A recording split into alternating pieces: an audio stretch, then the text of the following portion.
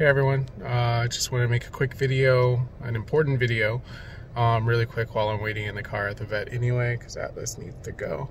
Um, but just a heads up, um, after talking with the Atmoblue customer service um, and kind of breaking down everything, uh, we've kind of determined that it's, uh, you want to make sure that you're using a 5 volt charger.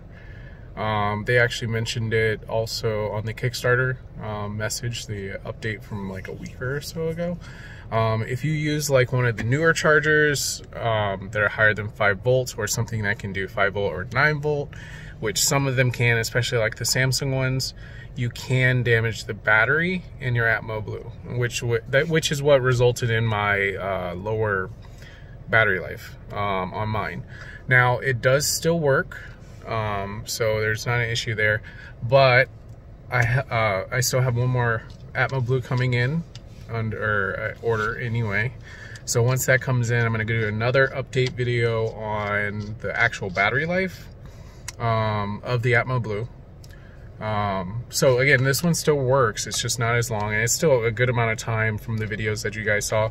I stopped using um, the chargers that I was using or an external battery pack, which apparently also had the an issue or a short or something which could have caused the damage to the battery. Um, so just make sure you are using a 5 volt charger. Don't use a cheap one. Don't use an old one. Get a 5 volt charger. Very important if you want that 5 or 6 hour on high battery life from what I was seeing from other videos.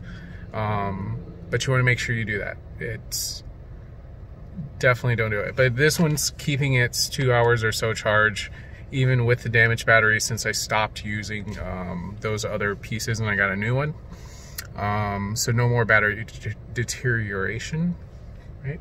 Uh, so there you go. Just make sure you don't use it. But have a great day.